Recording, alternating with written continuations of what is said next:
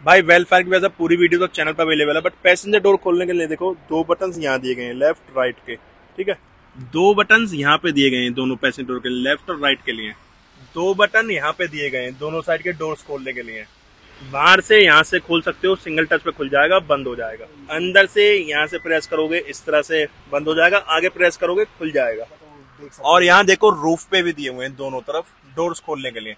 कितनी जगह बटन दिए हुए हैं पैसेंजर डोर्स खोलने के लिए।